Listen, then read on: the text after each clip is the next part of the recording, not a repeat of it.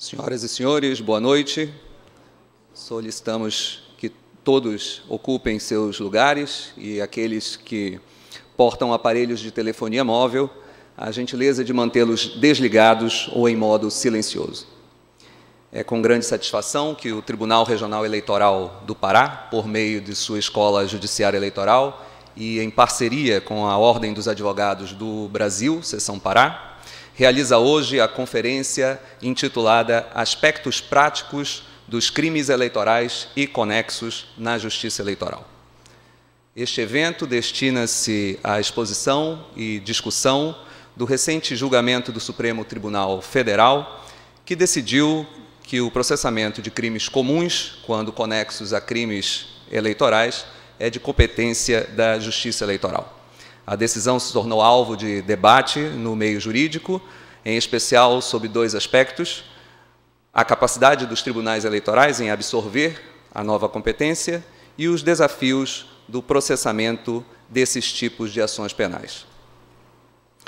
Esta conferência está sendo transmitida em tempo real através de link específico na página principal do Tribunal Regional Eleitoral do Pará na internet.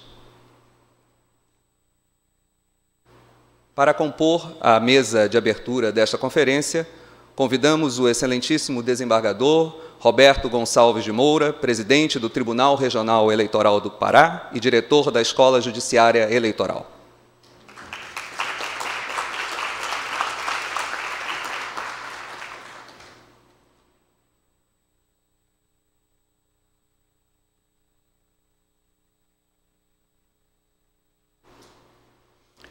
Convidamos o excelentíssimo senhor Tarcísio Vieira de Carvalho Neto, ministro do Tribunal Superior Eleitoral.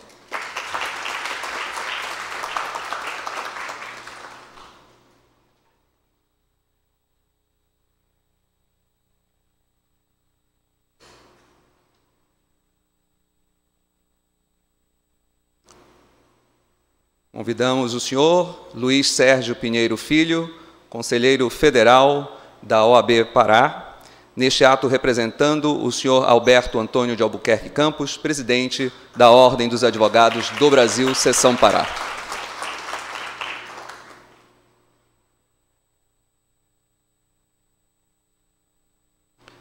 O cerimonial registra e agradece a presença das seguintes autoridades: os excelentíssimos senhores juízes membros deste tribunal, Arthur Pinheiro Chaves, e José Alexandre Buchacra Araújo. O excelentíssimo juiz eleitoral José Maria Pereira Campos e Silva, o excelentíssimo promotor de justiça Eduardo José Falese, o tenente Fernandes, representando a Marinha, quarto Distrito Naval a senhora Luciana Gluck Paul, diretora da Escola Superior de Advocacia, o vice-diretor da escola, o senhor Lucas Sales, e a secretária da escola, Talita Magalhães. A senhora Juliana Freitas, professora de mestrado, de graduação e pós-graduação do CESUPA.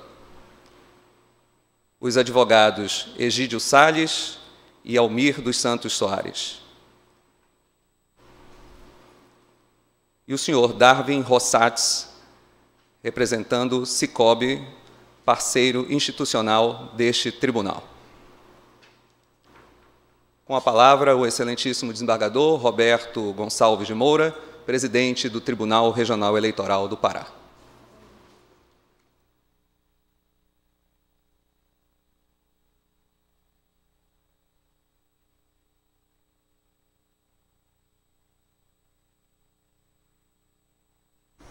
Bem, boa noite a todos.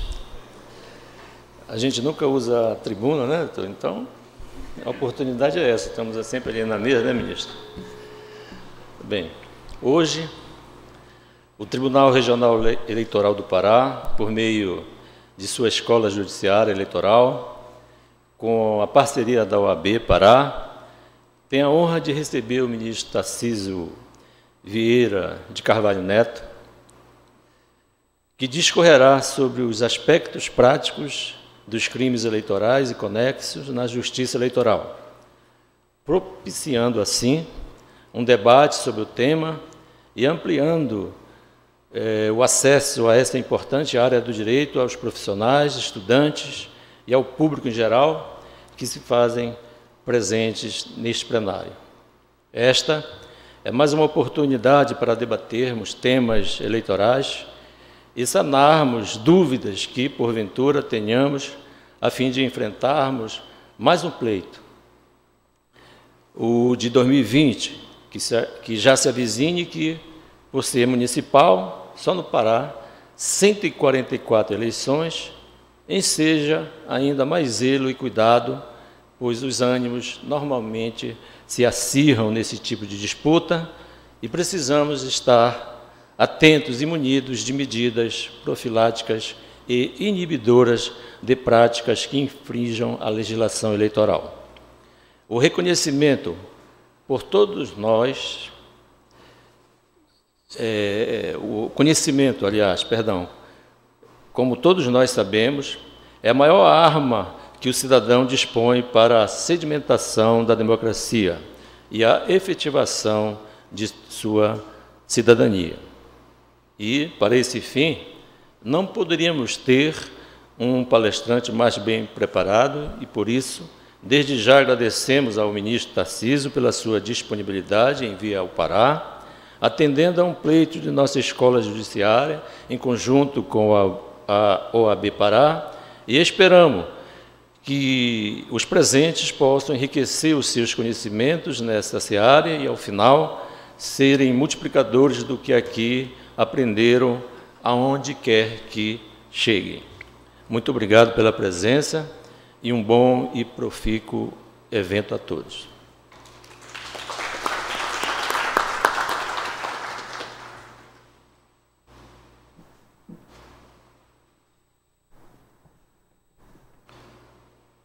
Ouviremos neste instante o conselheiro federal da Ordem dos Advogados do Brasil, Luiz Sérgio Pinheiro Filho.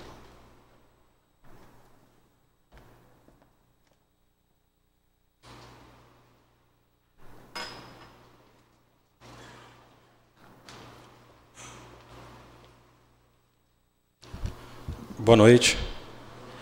Excelentíssimo senhor presidente, excelentíssimo ministro Tarcísio Vieira, demais colegas aqui presentes, advogados, promotores, juízes e servidores dessa justiça. É com muita honra e alegria, Excelência, que eu estou hoje aqui Primeiro, com honra por estar representando a Ordem dos Advogados do Brasil, na pessoa do Dr. Alberto Campos. E muita alegria de estar participando desse evento, que muito nos engrandece com a presença do ministro Tarcísio. E esse evento que tem como tema um assunto de extrema importância, não só para nós, advogados que militamos na área eleitoral, mas também para todos os jurisdicionados de uma forma geral. Entendo que esse evento é uma grande oportunidade para que nós, operadores do direito, possamos aprender um pouco mais sobre os novos rumos do direito eleitoral. Notadamente, a recente decisão do STF, que reafirmou o entendimento de que essa especializada deve processar e julgar os crimes comuns conexos a crimes eleitorais. Então, Excelência, tenho certeza que o, agora ouviremos uma excelente palestra do ministro Tarcísio que muito nos engrandecerá. Muito obrigado. Boa noite.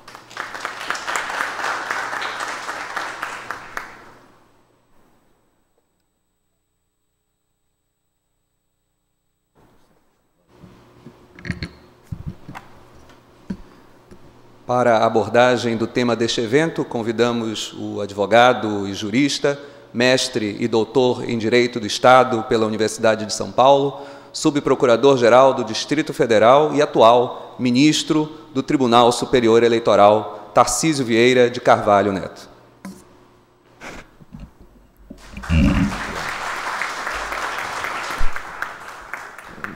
Boa noite a todas e a todos. Se não houver objeção, presidente, eu até falarei de onde estou, não em desrespeito ao ilustrado auditório, mas apenas pelo incômodo que eu causaria aos pescoços e aos torcicolos falando de lado. É, mas é, costumo falar de pé, olhando para o público, para denotar esse respeito, e apenas hoje pediria licença para falar é, sentado. É, as minhas primeiras palavras são de imenso agradecimento ao gentil convite formulado, especialmente pelas mãos da talentosa advogada Talita Magalhães, em nome desse convênio é, virtuoso entre a Justiça Eleitoral do Pará, representada por seu presidente, presidente desembargador Roberto Gonçalves de Moura, presidente do Tribunal Regional Eleitoral, e da Ordem dos Advogados do Brasil, por seu conselho seccional, é, representado aqui também é, muito ilustradamente pelo Dr. Luiz Sérgio Pinheiro Filho, ilustre conselheiro federal, neste ato representante, representando o presidente do Conselho Seccional. Também gostaria de saudar muito especialmente a doutora Luciana Duque, né, em nome da Escola Superior da Advocacia, que é uma parceira, organizadora do, do evento. Gostaria também de é, rapidamente é, saudar a doutora professora é, Juliana Freitas, do CESUPA, né, que já me já me submeteu a uma condição coercitiva para participar de uma banca de mestrado amanhã naquela prestigiada instituição. Gostaria também de saudar e agradecer a presença dos eminentes juízes do Tribunal Regional Eleitoral, doutor Arthur Chaves, membro do, da Justiça Federal, doutor José Alexandre Araújo, também saudar a presença entre nós do juiz José Maria Campos e Silva, do promotor Eduardo Falese, do tenente Fernandes, representando a Marinha, é, minhas senhoras e, e meus senhores. É? O tema a respeito do qual é, me cabe tecer algumas considerações muito mais à moda de dúvida e de inquietação do que de certeza e conclusão, é um dos temas que tem mais recentemente povoado a mente e as preocupações dos estudiosos do direito eleitoral, especialmente dos órgãos da justiça eleitoral considerada em sentido amplo. Essa preocupação perpassa, portanto, não só o poder judiciário especializado em matéria eleitoral, mas também o Ministério Público, a polícia, a advocacia, a academia, com referibilidade a esse ramo do direito público que só faz crescer e só faz se multiplicar em termos de importância, em termos de significação. É, falar de alguns aspectos práticos dos crimes eleitorais conexos ao delito de Caixa 2 é uma tarefa hercúlea e até certo ponto prematura, mas nisso talvez resida o maior mérito do evento, que é o mérito de antecipar já alguns problemas que serão descortinados com método, com disciplina, com cientificidade em eventos é, como esse. É, as senhoras e senhores sabem que o direito eleitoral é, é uma zona de confluência de vários ramos do direito. Antes de adentrar o auditório, até comentávamos, presidente, que o profissional do direito eleitoral precisa esgrimar conhecimentos não só desse ramo específico, mas conhecimentos igualmente verticalizados também de direito constitucional, de direito administrativo, de direito processual, até mesmo de direito privado, na configuração de algumas hipóteses de, de inelegibilidade, por exemplo, e por que não de direito criminal. Nós, da Justiça Eleitoral, sempre tivemos competência criminal, mas é notável o incremento do fluxo de processos nos últimos anos.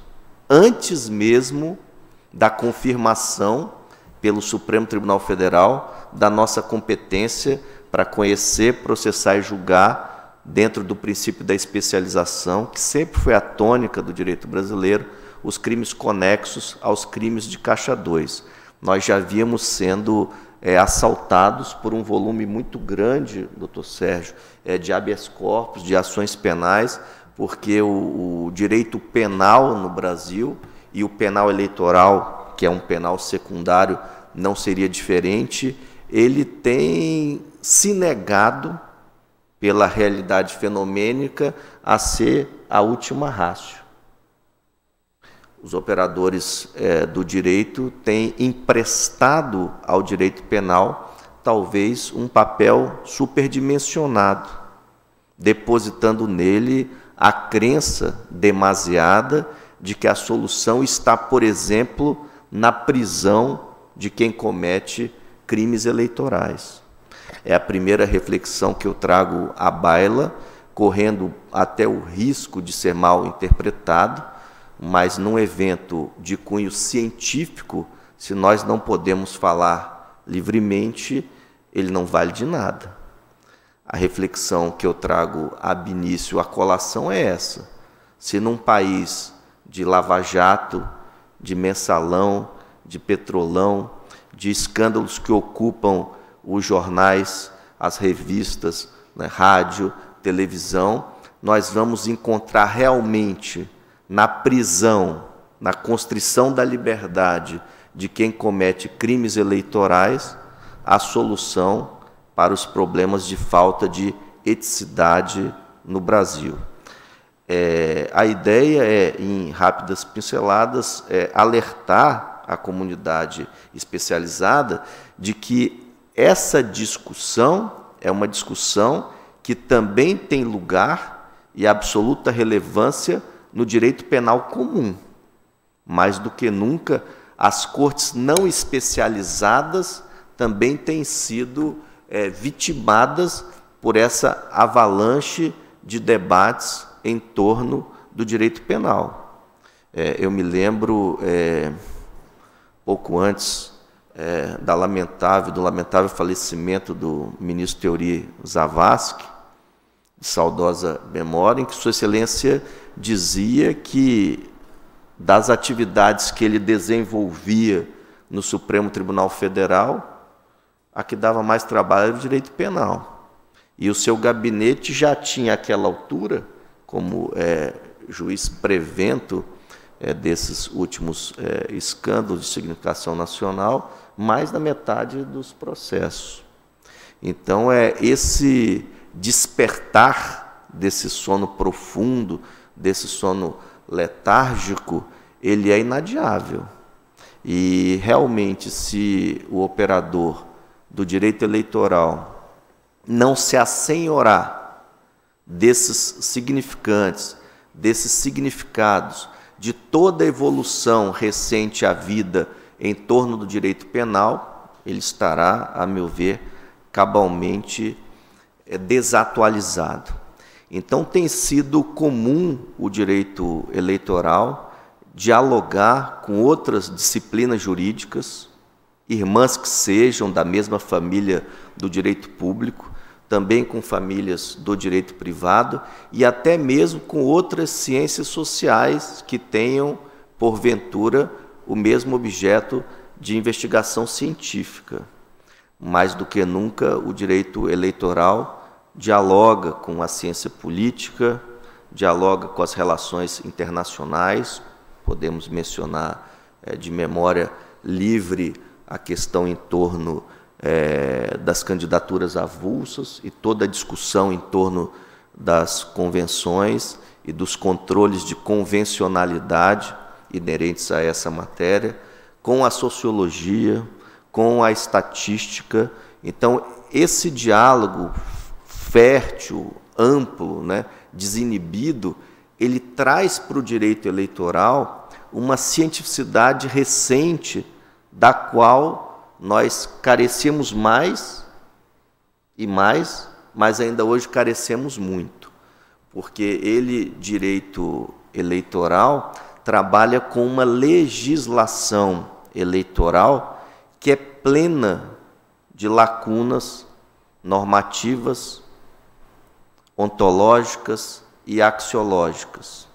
Muitas das vezes lacunas produzidas de maneira proposital. Na tecnicalidade jurídica, de maneira dolosa, por um Congresso Nacional que é destinatário da própria lei que fabrica.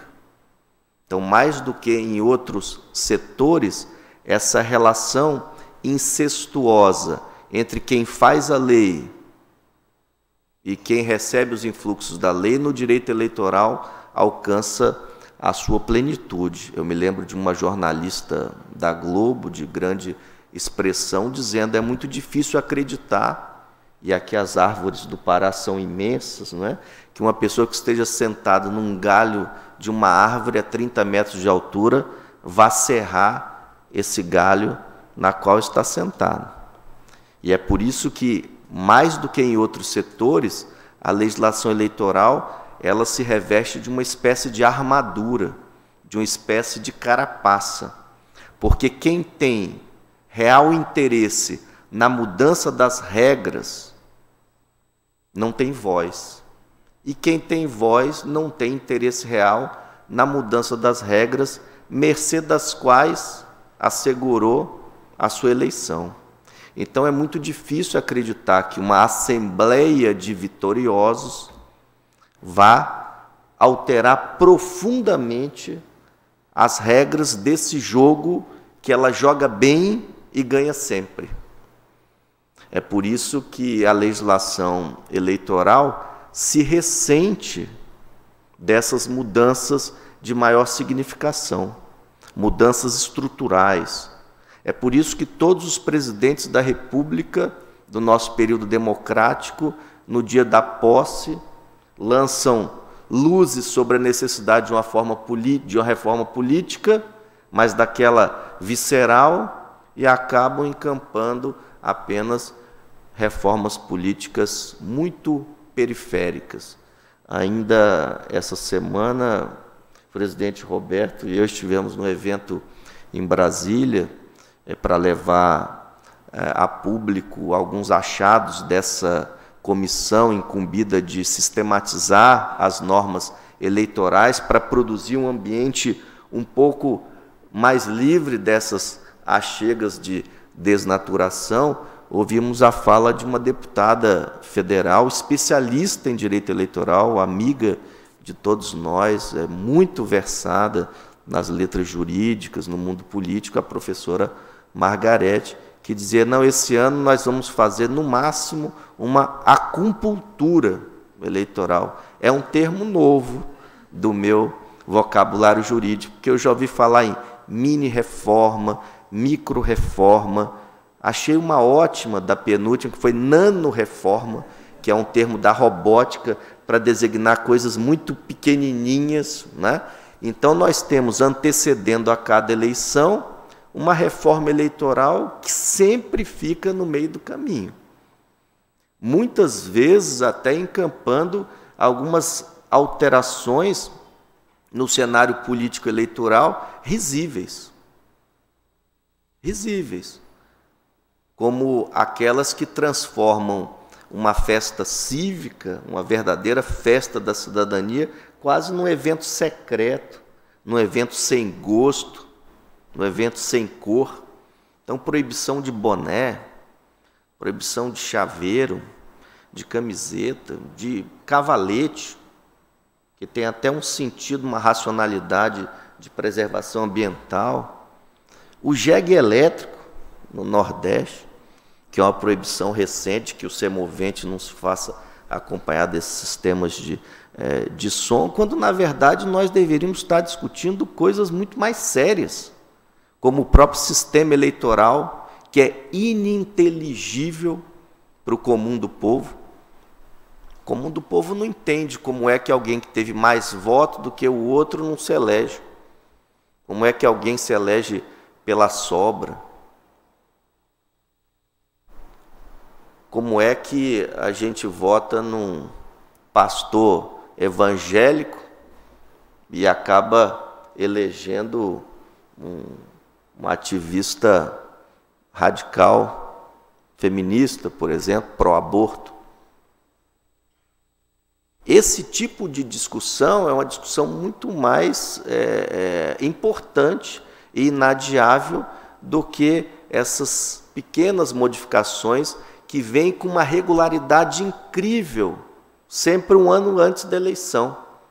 Então, quando vem a Lei 9.504 de 97, a comunidade jurídica especializada aplaudiu de pé, porque ela se apresentou como uma solução definitiva, seria uma lei estável para todas as eleições que se realizarem, realizassem dali para frente. Antes dela, cada eleição era antecedida de uma lei toda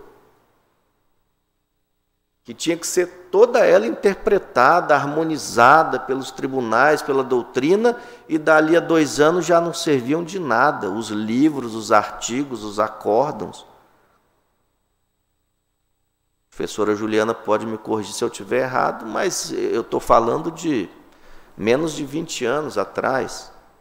Muito difícil naquela oportunidade achar um bom livro de eleitoral. Muito difícil. Né? Mas essa lei que se pretendeu permanente, ela foi substituída num sistema de geração indiscriminada de insegurança por reformas que antecedem cada eleição. E o legislador tem forçado tanto esse período de anterioridade, que é aquele período né, de um ano que antecede as eleições, dentro das quais Podem haver modificações da regra do jogo, mas elas não se aplicam por questão de segurança jurídica àquela eleição. Na última eleição, nós tivemos, por edição extra do Diário Oficial, uma reforma eleitoral implementada no último dia antes do defeso. E pasmem as senhoras e os senhores, o Congresso Nacional remete à presidência da República duas leis siamesas com conteúdos contraditórios entre si, para que o presidente da República fizesse a harmonização e a sistematização que deveriam ter sido feitas no Congresso Nacional, mas que se tivessem sido feitas, não haveria como cumprir a anualidade. E é por isso que hoje, a menos de há mais ou menos quatro meses do início desse período de defesa, nós não temos, por exemplo, teto de gastos para campanha. Hoje não tem. Qual é o teto de gastos para campanha eleição municipal? Não tem. Qual é o volume do fundo eleitoral? Não sei. Ah, vamos repetir, que é a proposta de alguns, 1,7 bi mas repetir assim do, do nada, no chute, são eleições comparáveis, uma eleição estadual, geral, nacional, com 27 mil candidatos, e uma municipal com 500 mil candidatos? Isso sem falar na ausência total dos critérios internos de distribuição de verbas públicas. E eu não estou nem me referindo ainda à questão das fraudes nas cotas de gênero e no dinheiro público que deveria ter abastecido essas candidaturas de cotas e não abasteceu. Então, o direito eleitoral se ressente dessa harmonia, que é uma harmonia absolutamente presente em outros setores que nós temos que esgrimar. É, essa situação, ela não traz só pedras, né? ela traz também flores. Né? Nós olhamos aqui para o auditório, nós olhamos para eventos científicos e sempre vemos a presença de vários setores de operadores do direito eleitoral amalgamados. É muito comum, não é, presidente? Quem vem do judiciário não especializado e ocupa um assento na justiça eleitoral, trabalhar essa ideia de que nós encontramos aqui uma família diferenciada. Há um tipo de relacionamento entre pessoas que é diferente do que ocorre fora da justiça eleitoral uma certa intimidade que às vezes é até mal vista pelos clientes, mas que tem esse sentido de que todos têm essa sensação de pertencimento sobre a justiça eleitoral.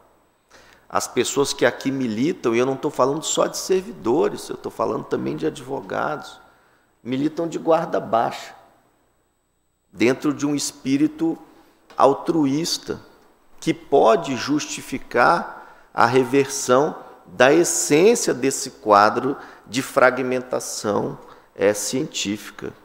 Então, é, é recente esse fenômeno da evolução científica do direito eleitoral e ele, apesar desses pesares todos, se acelera, se multiplica e nos dá esse ânimo né, de perseverar, mesmo contra, é, como eu disse, alguns percalços absolutamente irritantes. É, ainda na, no dia 17 de maio, não é?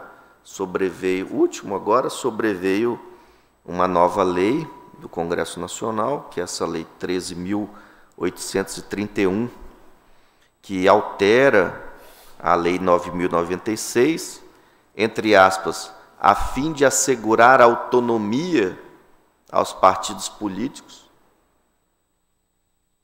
e definir prazo de duração das comissões provisórias, dando outras providências que chegam a um cálculo matemático simples de 70 milhões de reais de anistia para os partidos que descumpriram a legislação eleitoral, inclusive na questão das cotas inclusive na questão das cotas. Então, a invocação da autonomia para atribuir ao partido político uma liberdade de fixar, por exemplo, uma comissão provisória em oito anos, não parece uma mensagem positiva dentro desse quadro é, que nós estamos desenhando para o direito eleitoral do futuro, democratizado, comprometido não só com a razão, mas também com a ética. Nós falávamos, está ali o nosso repórter sentado ali na segunda fileira, sobre o fair play eleitoral, sobre a questão do compliance. Em todo lugar, em todo canto do mundo, se exige fair play, se exige compliance, e os partidos vão ficar blindados ao fair play e ao compliance, invocando a bandeira da autonomia partidária? Como se a autonomia partidária fosse uma licença para trabalhar à margem dos desígnios que a Constituição assegura à própria vida democrática, interpretar o parágrafo 1 do artigo 17 ao arrepio do caput, que exige democracia na vida partidária, também da porta para dentro e não só da porta para fora. Então, esse tipo de movimento legislativo que é explicado por aquela premissa teórica já desenvolvida, que são leis que se retroalimentam para garantir essa resiliência das modificações que deveriam ir ao encontro do titular do poder, abalam um pouco a nossa crença, mas nos dão é, redobradas forças para prosseguir é, insistindo nesse como o único caminho é, para a revitalização é, da nossa vida em sociedade, presidida por valores verdadeiramente democráticos. É, a questão do direito penal eleitoral se insere justamente nesse epicentro, nesse, no epicentro desse terremoto. É como se fosse ali o, o miolo do, do furacão. Aquela sensação ali de que naquele lugar específico as coisas vão bem, estão calmas, mas dali a dois ou três segundos tudo será destruído. Né? Então a ideia foi trazer aos senhores e às senhoras, na noite de hoje, é, algumas impressões preliminares sobre esse quadro que já está sendo construído à nossa frente. Nós já passamos do térreo do primeiro andar e ele só faz subir. Eu trouxe aqui, depois é, eu não vou ler para não cansá-los, mas a demonstração em números do que nós estamos falando, que é um avanço significativo no volume de ações penais é, levadas à justiça eleitoral nos últimos cinco anos. Né? Então, eu tenho esse quadro é, segmentado nas zonas eleitorais de todo o Brasil, nos tribunais regionais eleitorais e também no Tribunal Superior Eleitoral, e do exame desse diálogo entre o direito e a estatística, e os números não mentem, a conclusão a que eu chego é que no ano de 2016, o nosso acervo de processo dobrou em matéria criminal em relação ao ano de 2015. E eu estou falando independentemente dessa última decisão do Supremo. Então já havia esse movimento crescente, ampliação do chamado direito penal eleitoral. Então, aumento de, das autuações de ações de natureza penal a demandar, independentemente da decisão do Supremo, investimento em infraestrutura e em capacitação do quadro de servidores para manutenção da efetividade da prestação jurisdicional eleitoral, que é bem vista pela população. O presidente até me dizia, agora antes da, desse evento, é, apertado, né, por uma fala que eu já não me lembro de quem, de que ah, mas o Tribunal de Justiça do Pará ele está liderando alguns índices que são negativos, mas o TRE não. O TRE aqui tem o selo diamante. Então vejam, isso, isso não é raro haver alguma inquietação em relação à justiça comum e não haver em relação à justiça eleitoral. A justiça eleitoral funciona bem. Então essas modificações da justiça eleitoral, elas devem ser acompanhadas de um ônus argumentativo condizente. Tem muitas coisas erradas a serem consertadas antes. Isso não pode ser uma modificação meramente artificial para atender interesses que eventualmente a gente nem pode declinar. Isso não pode ser, não é, doutor Arthur, uma guerra eventualmente corporativa entre juízes de direito estadual e juízes federais.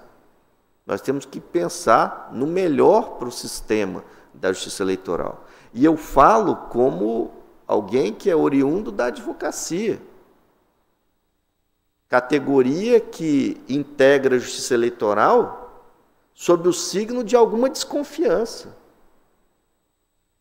Não é raro nós sermos acusados, porque somos advogados, de termos menor independência do que os juízes togados. Nós temos que ter um certo cuidado com esse tipo é, de crítica gratuita. A decisão do Supremo Tribunal Federal, no inquérito 4435, a meu sentir, não fez mais do que reconhecer exatamente o que já havia e o que é lógico existir, que é a competência da Justiça Eleitoral para processar crimes eleitorais e crimes conexos aos crimes eleitorais. Não faria sentido, com todo respeito, com todo respeito, e aqui é respeito sincero, inserido num evento científico, com todo respeito à corrente minoritária do Supremo, que não é tão minoritária assim. A decisão foi por 6 a 5. Foi por desempate. Não consigo entender como pudesse a Justiça Eleitoral julgar o crime fim e a Justiça não eleitoral o crime meio. O crime conexo ao crime eleitoral. Isso geraria uma situação é, kafkaniana, na minha modesta impressão. Então, eu sigo dizendo, porque entendo assim, que o Supremo não criou uma nova competência para o eleitoral. Ele reafirmou uma competência que já estava estratificada, já estava plasmada na ordem jurídica para aqueles que leem as normas jurídicas sem as paixões afloradas dos últimos meses ou dos últimos anos. Não é à toa, professora Juliana, não é que na faculdade os professores sempre dizem assim: nunca advogue em causa própria. Porque o advogado que o faz acaba deixando se levar pela paixão, ele fica cego, ele perde a razão.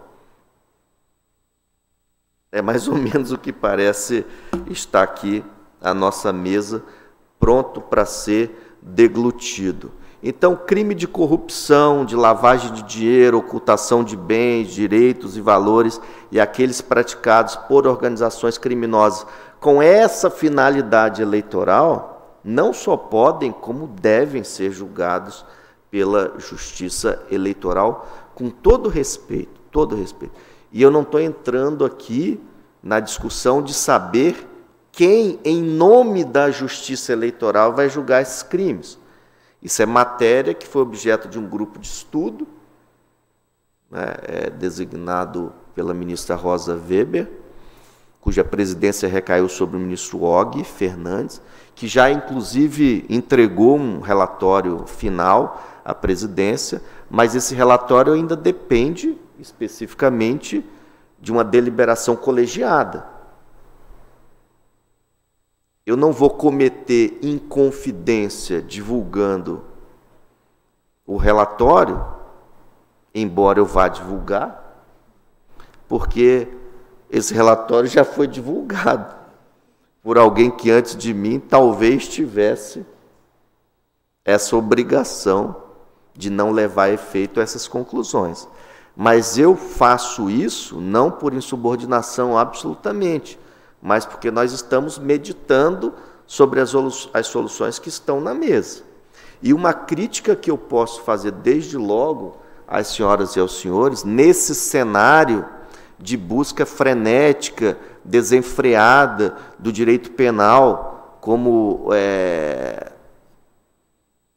a solução mágica para todos os problemas de moralidade, de falta de ética que possa existir no, no, no Brasil.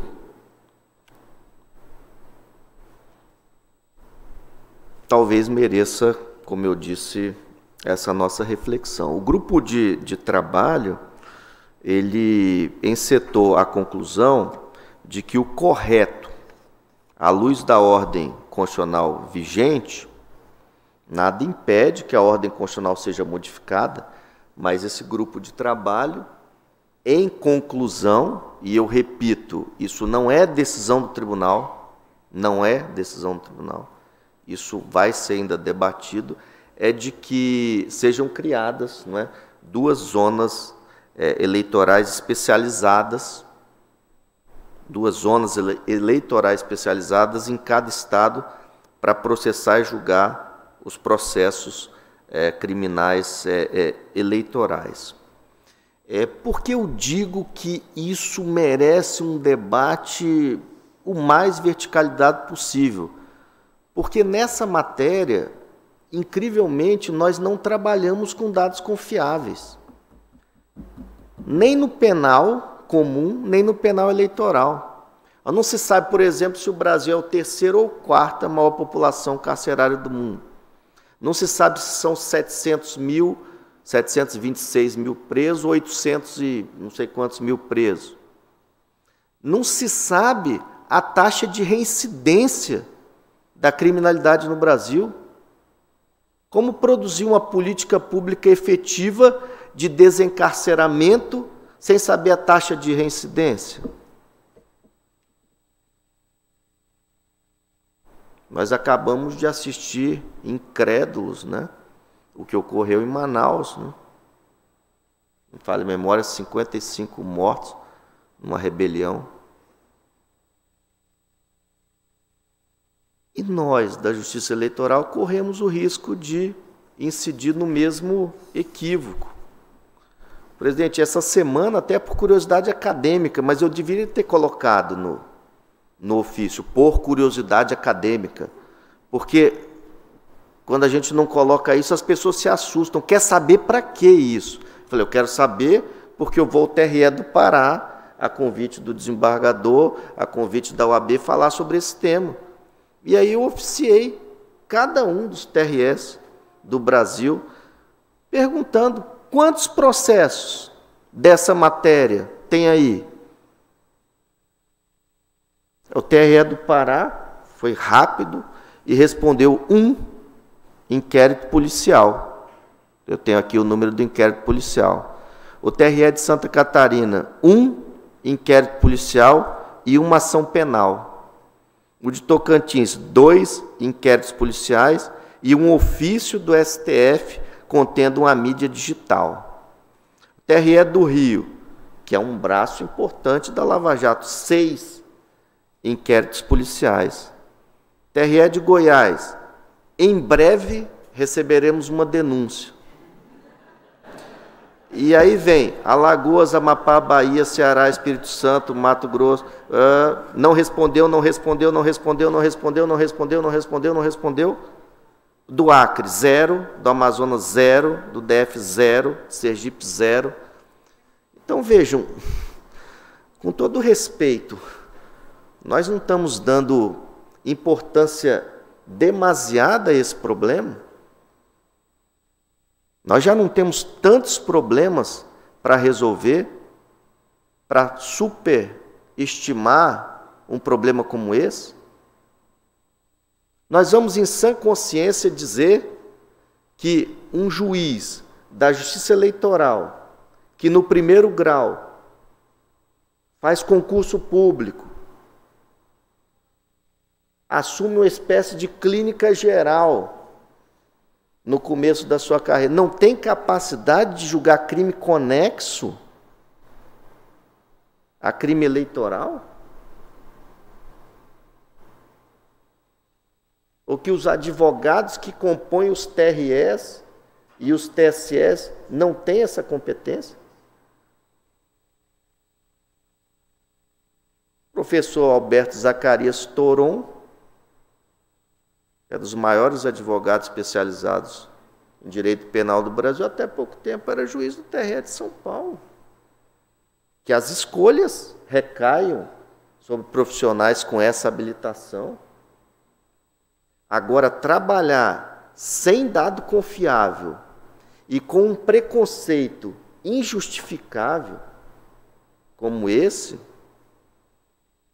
não parece um debate sério, com todo respeito com todo respeito. E aí nós vamos avançando no trato dessa matéria e reconhecendo que realmente nós temos é, pressa na implementação dessas providências administrativas que vão ter que ser feitas para receber essas competências. Mas eu, eu pergunto humildemente ao doutor Arthur, que é da Justiça Federal. A Justiça Federal não se reforçou administrativamente quando se especializou nas varas que hoje têm essa competência especializada? Isso é do fluxo normal da vida dos tribunais. Mais cadeira, mais mesa, mais treinamento, mais profissionalismo, isso não mete medo em ninguém com todo respeito. O pacote anticrime. O pacote anticrime é interessante. É, e aqui também eu vou correr o risco de ser mal interpretado, mas eu prefiro correr esse risco e passar a ideia que eu acho importante de ser repassada, né, é, do que ficar calado em torno, em torno disso. Né? É, nós hoje vivemos no Brasil um período em que o diálogo é uma atividade altamente arriscada. Hoje, se o sujeito se posicionar contra uma proposta de possibilidade de aproveitamento de prova ilícita, ele é rotulado, doutor Sérgio, de ser contra o Brasil de ser a favor da corrupção, quando na realidade ele está simplesmente defendendo o devido processo legal, que é um conceito inerente à própria ideia de Estado de Direito. Então, uma maneira de desnaturar a ideia de Estado de Direito é corrompê-la intestinamente, erodindo a sua espinha dorsal. Então, se o sujeito disser assim, eu sou contra a prisão em segunda instância, porque o texto legal interpretado dentro de uma lógica me conduz a essa racionalidade. Eu sou contra o Brasil? Eu sou a favor da corrupção?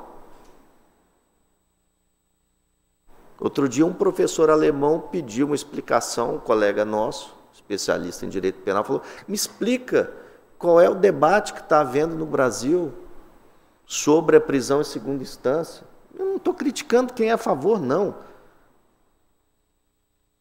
Estou só defendendo o debate, o diálogo leal, honesto.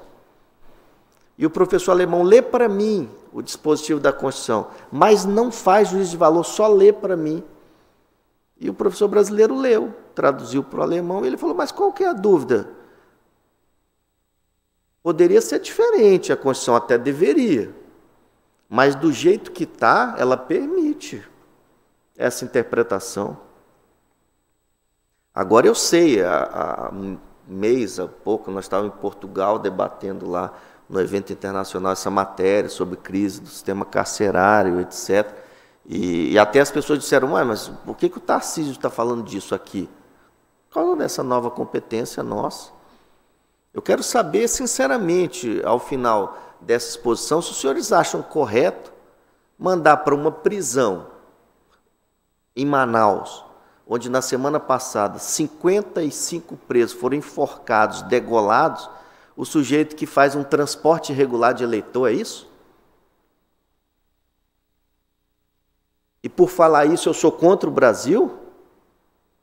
Uma lei que é da época em que o Brasil tinha um perfil agrícola, que você levar um eleitor da roça para a cidade, aquilo ali tinha um ativo.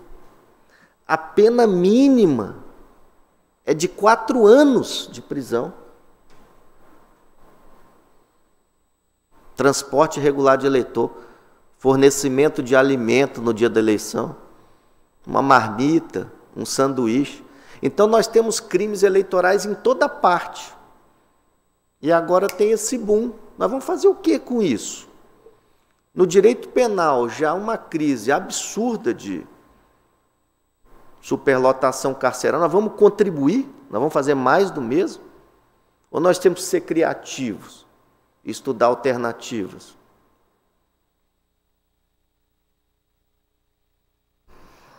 Pacote anticrime. Estou de acordo em que o artigo 350 do Código Eleitoral deva ser reestruturado do ponto de vista da sua arquitetura. Ele é um artigo que não atinge quase ninguém a mais do que o contador, o próprio candidato. Então, essa ideia de que o artigo 350 possa ser aprimorado me agrada. E o 350A do pacote anticrime do ministro Moro traz como tipo arrecadar, receber, manter, movimentar, utilizar valor, bens, ok. Paralelamente à contabilidade, tudo ok. Mas reclusão de dois a cinco anos para não poder ser convolada, a pena.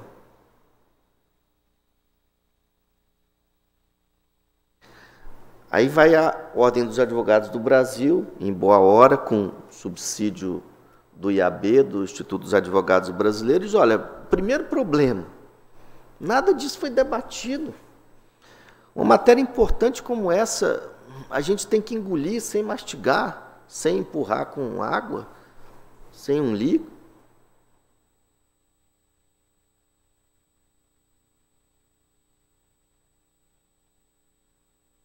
A pena de 2 a 5 anos é mais grave do que a atual do 350 e vai impossibilitar, por exemplo, a suspensão condicional do processo.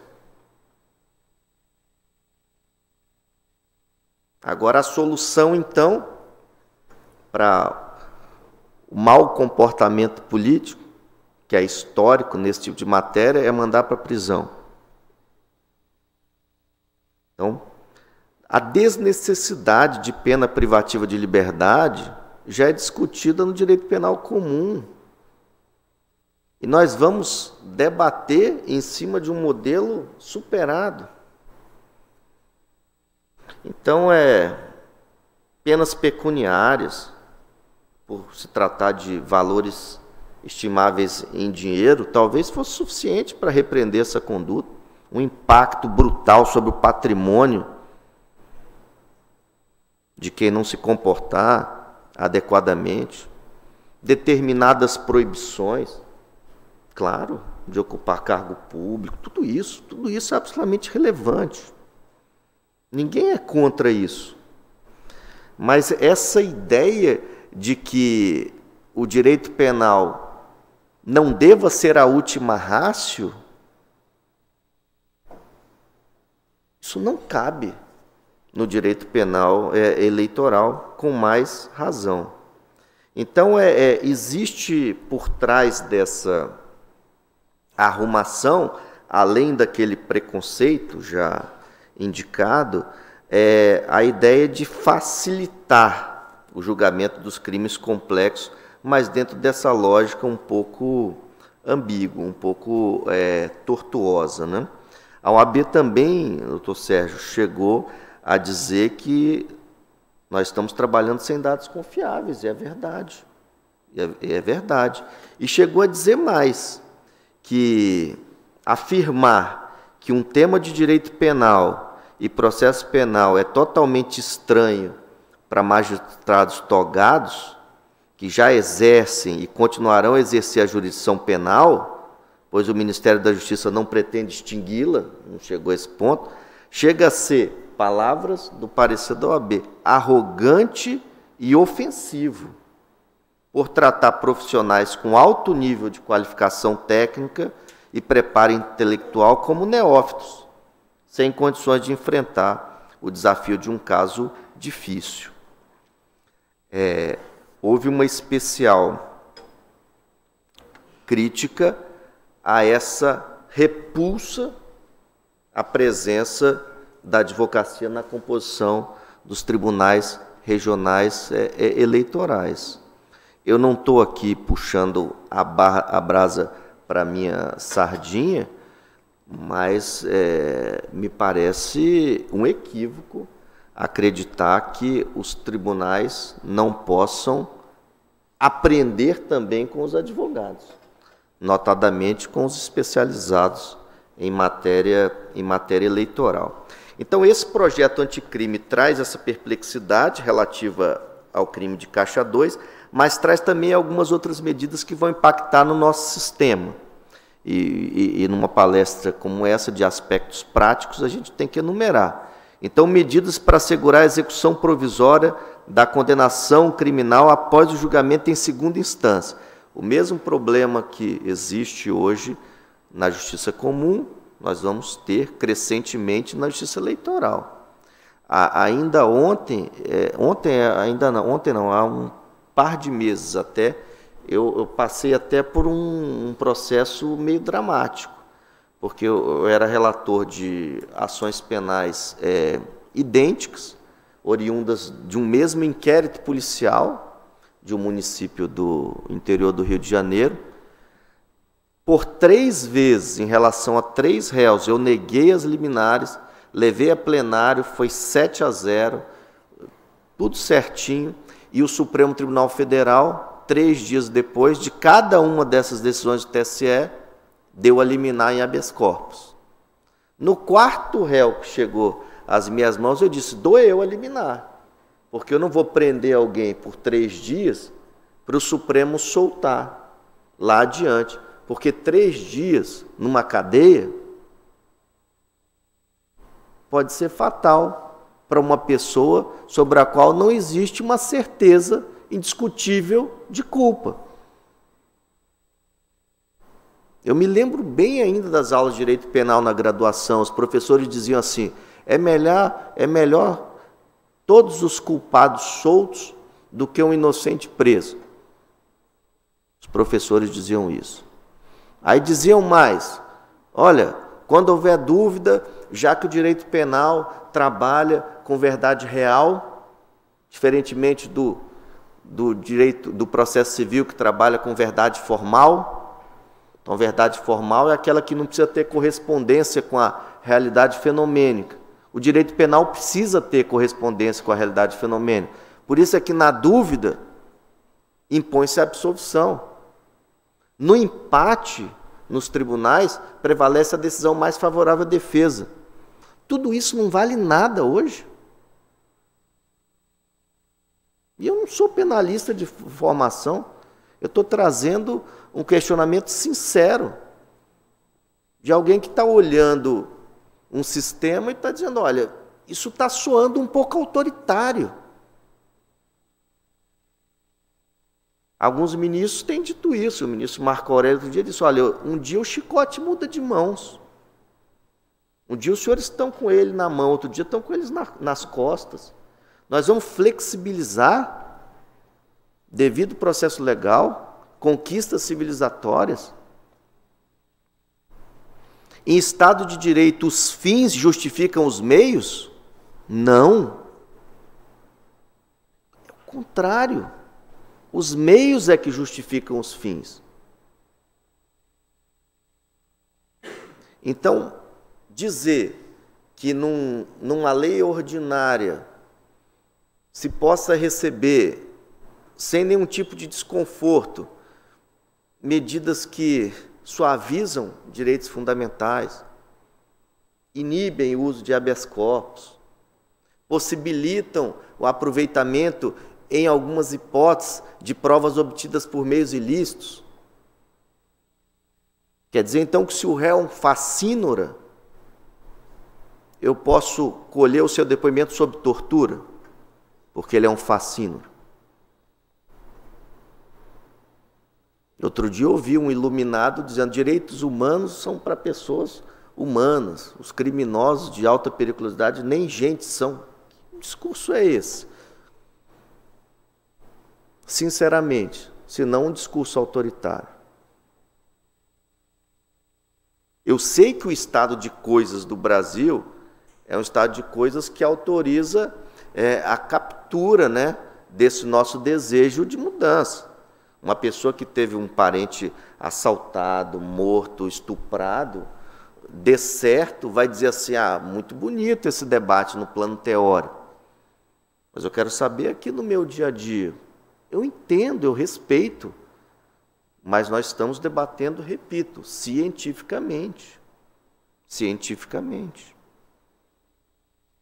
E as pessoas que falam o que querem, como eu estou falando, têm que estar preparadas para ouvir também o que não querem, e eu estou preparado para ouvir. Medidas para endurecer o cumprimento das penas. Então, não só encarcerar mais, mas evitar progressividade, saidões, saidinhas e antecipações. Vejam, isso é um pouco estranho, né? É o sujeito que pisa no acelerador e no freio ao mesmo tempo medidas para dificultar a soltura de criminosos habituais. Eu não vou prosseguir lendo, porque a lógica é sempre a mesma, sempre a mesma. E aí nós vamos cair exatamente na questão que nos aflige mais e que nós fazemos questão de não enxergar, cada um de nós aqui. Como é que o brasileiro trata presídio? é como aterro sanitário. Não é? Que ele fique bem longe. Eu não quero nem ver o que está acontecendo lá dentro. Gente morrendo de tuberculose. Comida podre. Ah, não, mas essa ideia de seres humanos, dignidade da pessoa humana, isso é fundamento da República, isso é uma norma meramente programática, é uma, uma bolinha colorida, amarelinha, verdinha, vermelhinha numa árvore de Natal.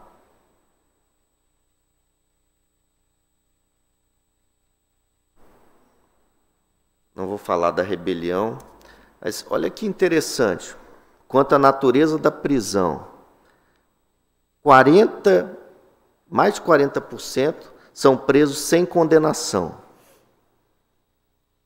24%, um pouco mais, presos em decorrência de execução provisória e 35% de presos com condenação definitiva.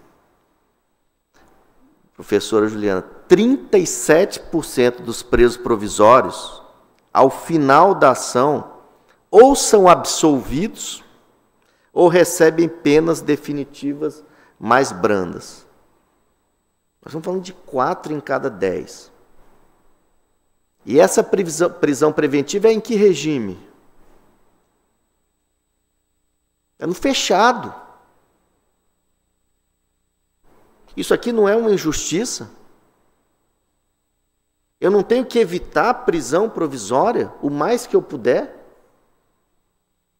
Porque se eu sei que quatro em cada dez, que como juiz eleitoral eu prender, vão ser absolvidos ao final, e antes de serem absolvidos, já estarão experimentando esse remédio amargo, que não é para eles,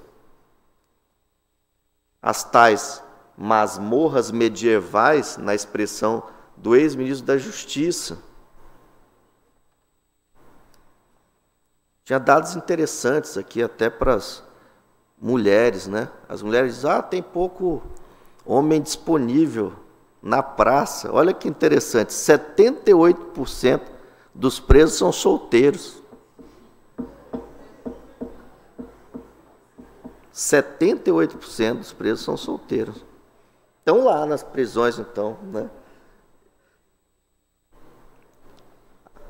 Questão do grau de escolaridade. Luciana, sabe quantos presos com doutorado nós temos? Nenhum. Nós temos um com mestrado incompleto e dois com mestrado completo.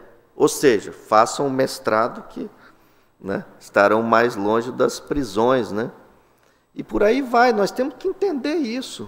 O custo do sistema nacional, né, é, a questão do Supremo ter fixado o entendimento, na medida cautelar na DPF 347, do estado de coisas inconstitucional. Então, o déficit prisional que ultrapassa em milhares o número de vagas. Eu falava com um professor nesse evento de Lisboa, um professor da Universidade de Humboldt, e ele dizia, em Berlim, e ele dizia assim: nós temos na Alemanha 40 mil presos e 70 mil vagas. Tem 30 mil vagas nas prisões alemãs. O debate hoje, Tarcísio, ele me falou, é se o preso tem direito a ter PlayStation na cela, para ele se divertir, para ter esse lazer. Olha que, que mundo diferente, né? Então, violação massiva e persistente de direitos fundamentais, eu não preciso lhes dizer o óbvio, eu só preciso lhes mostrar o óbvio, porque isso fica é, esquecido, esquecido. Responsabilidade civil do Estado, né? nós já temos a nossa Constituição aparelhada para isso, nós já temos a nossa legislação infraconstitucional aparelhada para isso, o artigo 630 do Código de Processo Penal, né? E por aí vai. Então, essa questão da, da prisão, seja ela prisão temporária, seja ela prisão definitiva, ela tem que sim ser reconduzida a esse conceito de última ratio, se não no direito penal comum, pelo menos no direito eleitoral. Passem os olhos nos crimes eleitorais. Ah, incluir um eleitor, né, rasurar um título. Isso é punido com prisão, sinceramente. Sinceramente. E, e nesse caso de que lhes falei no, no TSE, disse eu, então eu dou a liminar aqui, mas vou levar plenário. Vou levar plenário. Porque o meu desejo é negar, mas eu sei que o Supremo vai dar, porque é um relator prevento que já deu três vezes na mesma ação penal decorrente do mesmo inquérito policial, a mesma situação jurídica, eu não vou prender uma pessoa três dias à toa. E levei a plenário 6 a 1. Fiquei vencido. 6 a 1. Plenário não pode prender. E três dias depois o Supremo falou, pode soltar. E a pessoa ficou três dias presa. Algumas anotações sobre a nossa jurisprudência do Tribunal Superior Eleitoral e, e com esse capítulo eu já caminho para o encerramento, porque já antevejo alguns rostos meio aflitos, já me tratando como se eu fosse o último obstáculo antes do jantar, né?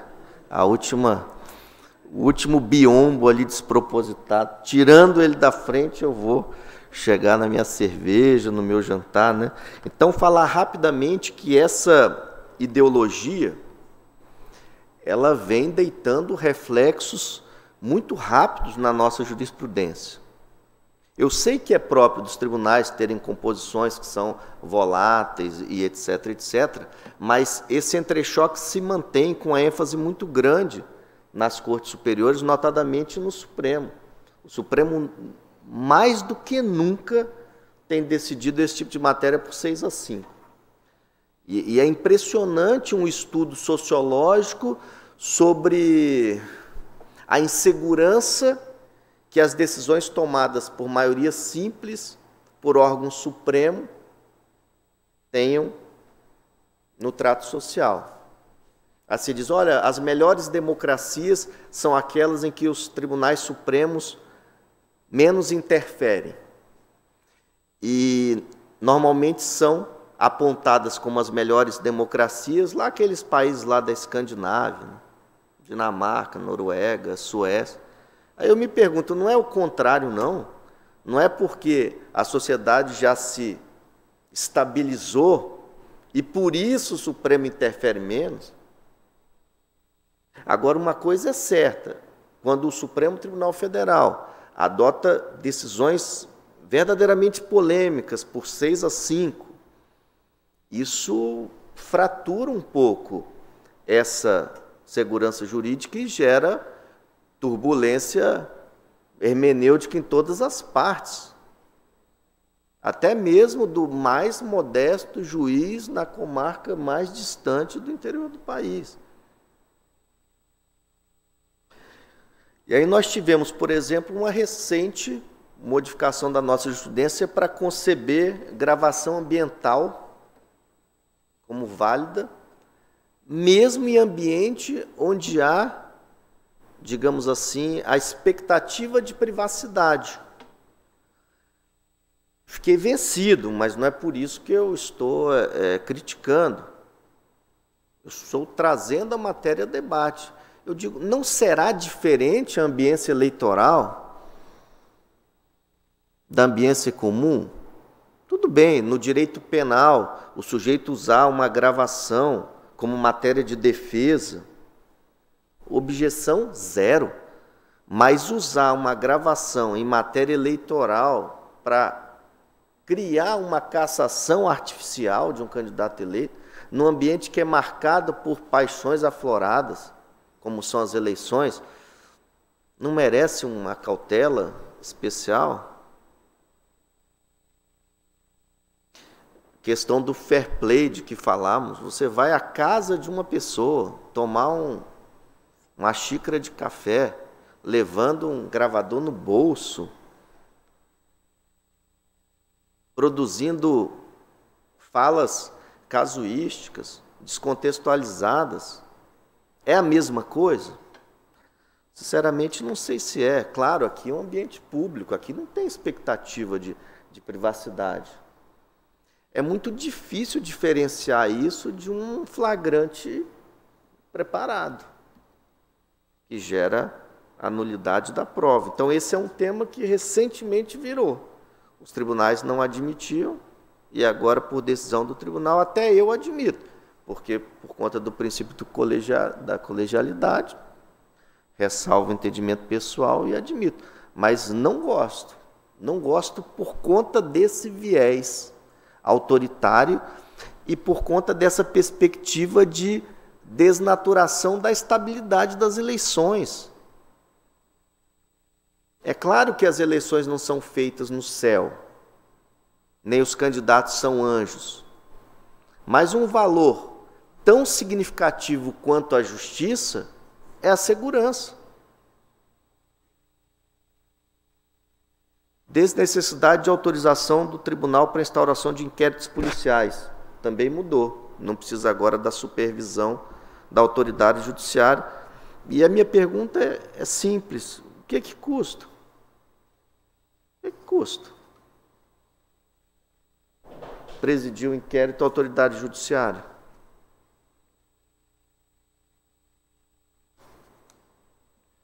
Impossibilidade de fixação da pena privativa de liberdade abaixo do mínimo condenado. Aqui é interessante um caso do, do Rio Grande do Sul, está lá no, no, no TSE já em grau de recurso. Naquele mesmo assunto, transporte regular de eleitores, o Tribunal do Rio Grande do Sul disse assim: a pena mínima é muito. A pena mínima é muito. Quatro anos para transportar um eleitor, para dar carona a um eleitor, pegar quatro anos de prisão, é muito. Vou dar dois anos que é a pena de um outro crime análogo. Acho ótima a solução, mas não dá. Porque o princípio da legalidade. Quem tem que ponderar isso é o legislador. Nós da Justiça Eleitoral podemos, no máximo, fazer o que eu particularmente fiz, que é um apelo ao legislador para dizer, olha, reavalie essa situação, é uma lei da década de 70, o Brasil mudou, não tem mais esse significado.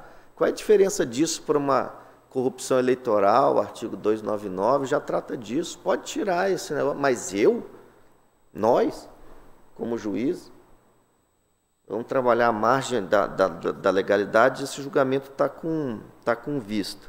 Execução antecipada da pena restritiva de direitos. Também nós éramos reticentes a isso, mas depois da decisão do Supremo, se pode antecipar a pena privativa de liberdade, quanto mais restritiva de direito. Quem pode o mais, pode o menos. E aí nós temos que desfazer um segundo tipo de injustiça, que é a incoerência.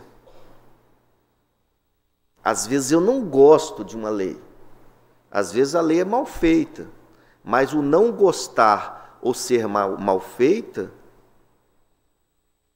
não denota inconstitucionalidade. A lei mal feita não é inconstitucional. E nós temos que trabalhar com essa ordem jurídica tal como posta. Né?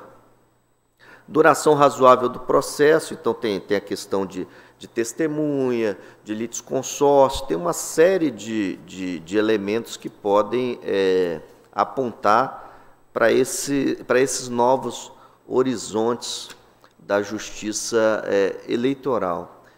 Eu, para não ser acusado de propaganda enganosa, que eu disse há alguns minutos que eu já estava perto do fim, eu teria outras é, matérias a, a dizer, mas acho que, em essência, eu já disse aquilo que me pareceu mais importante, que é de que nós não podemos, por mais que queiramos, por ser o caminho mais fácil, nos furtar desse debate. Porque senão nós vamos ser objetos e não sujeitos de direito na dimensão constitucional que somos.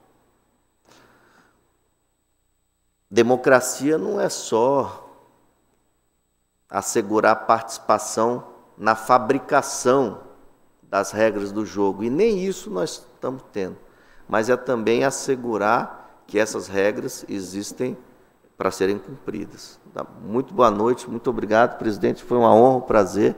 E todas as vezes que vier a ser chamado, estarei aqui, principalmente diante de um auditório tão seleto. Muito obrigado.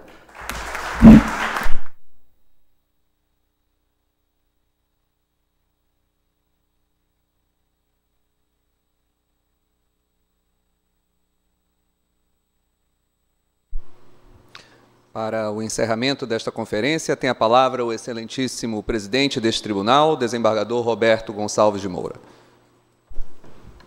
Bem, eu preparei aqui um discurso de umas 20 laudas, mas Vou reduzir apenas para agradecer a presença de todos, né, especialmente do ministro, que se dispôs a estar presente aqui para dar essa verdadeira aula para a gente. É, e encerrar, antes que seja pedrejado, né, a sessão. Obrigado. A sessão não, né, o evento. Muito obrigado.